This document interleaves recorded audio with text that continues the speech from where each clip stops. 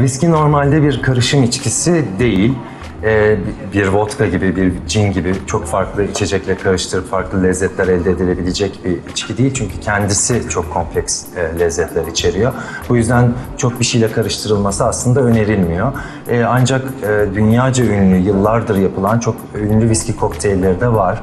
Lynchburg Lemonade gibi, Mint Julep gibi, Manhattan gibi kokteyller e, yıllardır her barmenin e, listesinde olan, e, her barda isteyebileceğimiz, e, özellikle yaz aylarında e, çok daha ferahlatıcı içecekler olarak e, tüketilebilecek e, viski kokteylleri.